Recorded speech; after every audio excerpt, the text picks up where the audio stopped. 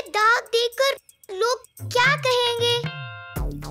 Don't be a dirty boy चलो, हाथ धो लो। अयो सत्यानाश। ऐसा अब यहाँ कोई नहीं बोलता, क्योंकि ये वॉल्स रहे साफ़ और safe with Nerolac beauty gold washable